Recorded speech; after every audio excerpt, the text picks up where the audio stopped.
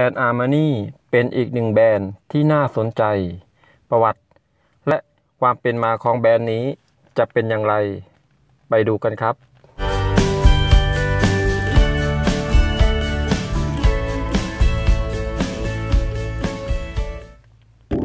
เดือนกรกฎาคมปีคริสตศักราช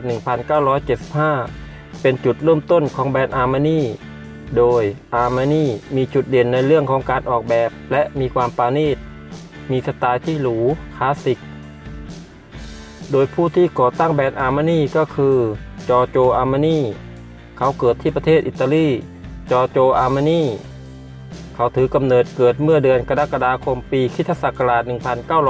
1934 หรือพศ 2477 นั่นเอง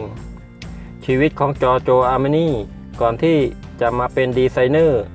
ตัวเขาเริ่มจากการเป็นนักศึกษาแพทย์ แต่เขาเรียน พทย์ได้เพียง 3 ปีเท่านั้น ก็ได้ลาออกจากการเป็นนักศึกษาแพทย์ จากนั้นตัวเขาก็ได้เข้ามาร่วมกองทัพ และอยู่ในกองทัพได้ประมาณ 4 ปี เขาก็ได้ออกจากกองทัพ และหลังจากที่ตัวเขาออกจากกองทัพ เขาก็ได้ไปสมัครงานและทำงานในห้างสรรพสินค้าลาลินาเซนเต ในอิตาลี โดยจอโจ อามานี่ เขาได้ทำงานหลากหลายตำแหน่งในห้างสรรพสินค้าแห่งนี้ และได้ย้ายสายงานไปเรื่อยๆ ไม่ว่าจะเป็นพนักงานขายเสื้อผ้าและอื่นๆอีก ต่อมาหลังจากนั้นตัวเขาได้มีโอกาสไปฝึกงานกับนักออกแบบชื่อดัง และได้เรียนรู้งานออกแบบ ในปีคริสต์ศักราช 1973 นายเซอร์จิโอกาเลโอติ สถาปนิกชาวอิตาลีได้ชักชวนให้นายจอร์โจอาร์มานี ให้เข้ามาร่วมเปิดสำนักงานออกแบบร่วมกัน ซึ่งในครั้งนั้นจึงทำให้นายจอร์โจอาร์มานีได้มีโอกาสรู้จักและพบปะผู้คนในวงการแฟชั่นมากขึ้น และต่อมาหลังจากนั้น นายจอร์โจอาร์มานีก็ได้มีโอกาสรับจ้างออกแบบงานแฟชั่นต่างๆ ต่อมาหลังจากที่นาจอโจอาร์มานี่ตัวเขาได้สะสมประสบการณ์มาได้สักระยะหนึ่ง เขาก็ตัดสินใจก่อตั้งบริษัทเพื่อผลิตเสื้อผ้าภายใต้แบรนด์ของเขาเอง เมื่อปีคิตศักราช 1975 ด้วยวัย 40 ปีในตอนนั้น โดยนายจอโจอามานี่เขาได้ร่วมมือทางธุรกิจกับนายเซอร์จิโอกาเลโอติ โดยพวกเขาทั้งสองได้ใช้ชื่อแบรนด์ว่าจอร์โจอาร์มานี่โดยสไตล์ของแบรนด์อาร์มานี่จะเน้นไปในทางเรียบง่าย แต่ต้องดูหรูหรา นายเซอร์จิโอกาเลโอติ เขาคือผู้ที่อยู่เบื้องหลังและคอยดำเนินงานต่างๆ ไม่ว่าจะเป็นงานด้านการขาย งานด้านการตลาด งานด้านการโฆษณาและงานบริหารต่างๆ โดยแบรนด์อาร์มานี่ไม่ได้ผลิตเพียงแค่เสื้อผ้าอย่างเดียวเท่านั้น แต่ยังรวมไปถึง แว่นตา นาฬิกา น้ำหอม เครื่องสำอาง เครื่องประดับ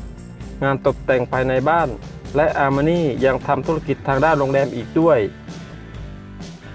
โลโก้ของอาร์มานี่จะมีลักษณะเป็นรูปนกอินทรีบ่งบอกถึงความแข็งแกร่งได้เป็นอย่างดี ในปีคริสต์ศักราช1980 นายจอร์โจอาร์มานี่เขาต้องการให้ผู้คนรู้จักแบรนด์ของเขามากขึ้น เขาจึงได้ออกแบบเสื้อผ้าให้กับดาราฮอลลีวูดเพื่อสวมใส่ในการถ่ายทำภาพยนตร์ ซึ่งภาพยนตร์เรื่องนั้นก็กวาดรายได้ไปมากพอสมควรเลยทีเดียว แต่ที่สำคัญไปกว่านั้น